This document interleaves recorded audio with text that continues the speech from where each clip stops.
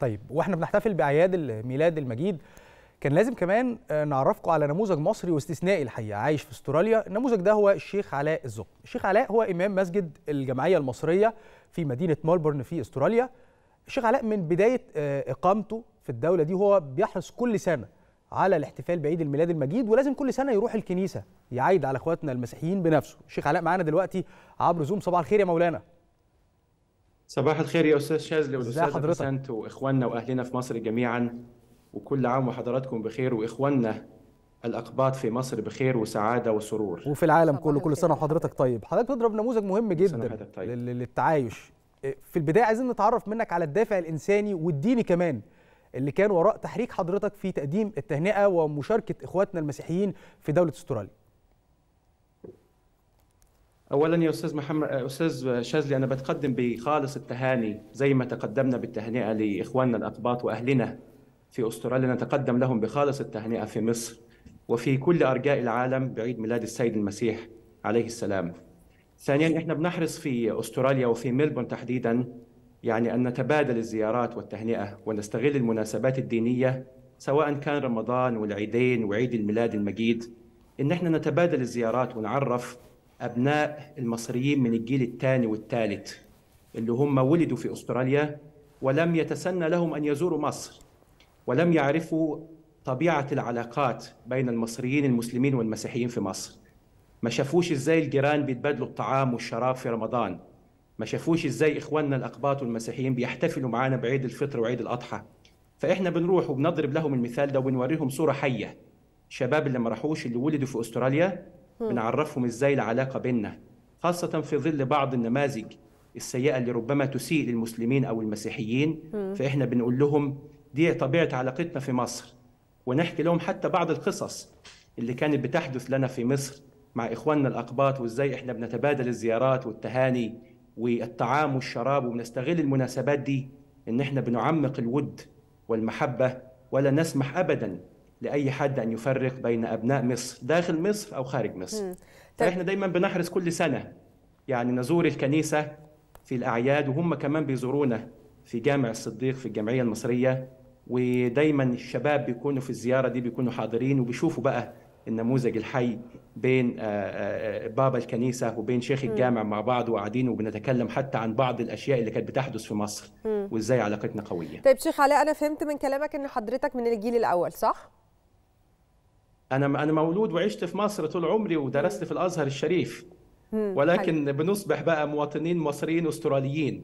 ونركز على المصريين الأستراليين أو الجيل الثاني من المصريين اللي مولود في أستراليا. طيب اللي هم يا أستاذة بسنت يعني ما زاروش مصر إلى الآن.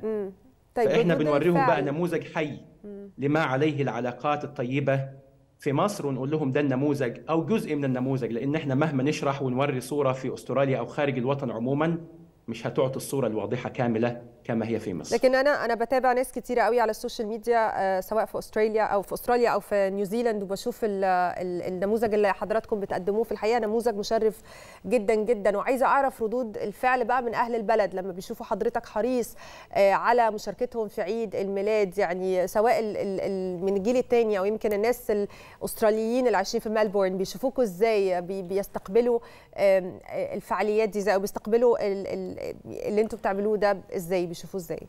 نعم يا أستاذة بسنت يعني إحنا مطالبين كمسلمين عموما وكأقباط وكلنا كممثلين لبلدنا مصر في الخارج إن إحنا بنحسن العلاقات مع غير المسلمين هنا في أستراليا.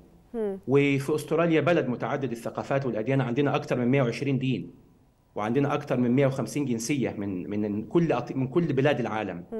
فإذا كان ديننا بيأمرنا إن إحنا نحسن العلاقات مع الناس الغير المسلمين اللي جايين من إيطاليا واللي جايين من اليونان واللي جايين أو الأسترالي اللي عايشين معانا هنا فكيف بأبناء وطننا المصريين اللي إحنا عشنا معاهم طول عمرنا وشفنا معاهم وقضينا معاهم أوقات طيبة ولا زلنا إلى الآن؟ حتى الواحد كده لما بيشوف الفيسبوك وبيتابع القنوات المصرية وبيشوف الزيارات وبيشوف التهاني وأهل البلد حتى عندنا في إيتاي البارود لما بيذهب الشباب إيتاي البارود وشباب وأهل إيتاي البارود المسلمين لتهنئة إخواننا الاقباط في الكنيسة والعكس.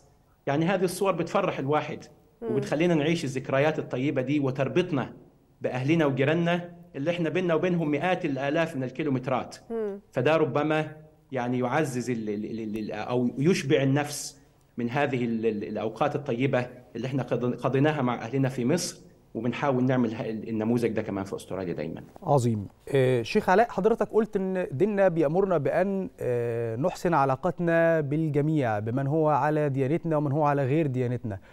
في كل عيد لإخواتنا الأقباط بيظهر بعض الناس ينتقدوا التهنئة ويرفضوا تهنئة المسيحيين بعدهم. حضرتك ترد عليهم بإيه؟ والله يا أستاذ شاذلي يعني من يرفض يرفض هو حر. ولكن أنا يعني أراهن على وعي المصريين وثقافتنا وعاداتنا اللي تربينا عليها وفطرتنا كشعب مصري واعي وفاهم. إحنا يا أستاذ شاذلي طول عمرنا لا تفرق بين شكل المصري والمسيحي والناس طول عمرها مع بعض وديننا يعني كمسلمين كمان إحنا لما بنعلم أحكام الفقه وفقه الأقليات لشبابنا المسلمين هنا بنعرفهم إن ديننا بيقول لنا آية كريمة بنقرأها كلنا لا ينهاكم الله عن الذين لم يقاتلوكم في الدين ولم يخرجوكم من دياركم أن تبروهم وتقسطوا إليهم. شوف يا أستاذ شاذلي تعبير ربنا الجميل أن تبروه من البر. مم. كلمة لا تستخدم إلا مع الوالدين بر الوالدين. مظبوط. وربنا سبحانه وتعالى جعل البر قبل القسط قبل العدل. ولكن أن نبر الناس يعني نعطيهم أكثر وأكثر ونكون كرماء معهم. ونقرأ في القرآن الكريم وإذا حييتم بتحية فحيوا بأحسن منها أو ردوها على الأقل. بيجي لي إخواني من الأقباط ويقولوا لي كل سنة وأنت طيب. ورمضان كريم وعيد سعيد عليك. وعيد سعيد عليك وعلينا. فليه إحنا يعني نحرم مثل هذا الكلام؟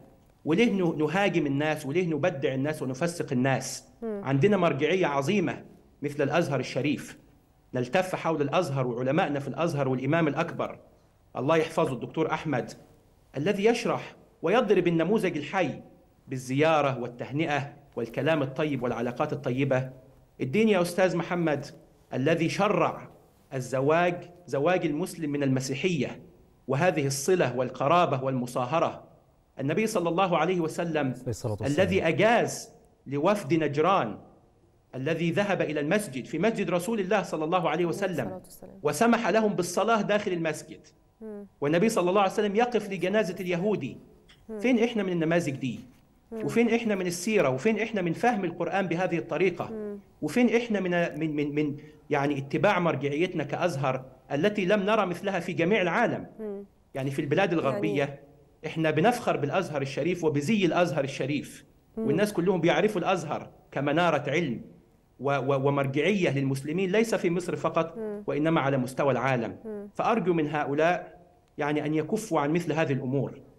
وأن يعتبروا طبيعة يعني الشعب المصري الأصيل العلاقات الطيبة التي إن شاء الله ستظل دائما موجودة يهنئ بعضنا البعض.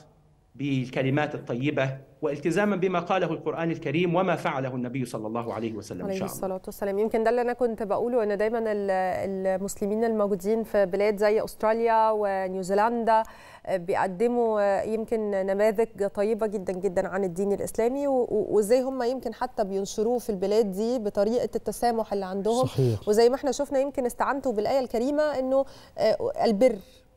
يعني ده أهم حاجة وده اللي مخلينا دايما إحنا كمصريين دايما في ترابط ونسيج واحد فعلا. يعني دي ده مش مش تعريف إحنا بنستخدمه ده إحنا حقيقي نسيج واحد.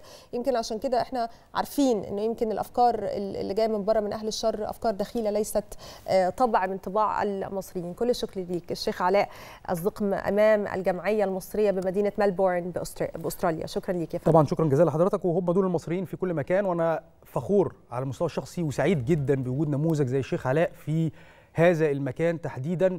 وكرجل يتحدث باسم الدين إنه بيعرف الناس تعاليم الدين الإسلامي اللي سامحه وقد إيه هو بيضرب نموذج ومثال للتعايش. بارك الله فيك يا شيخ علاء وبنشكرك طبعا. شكرا جزيلا.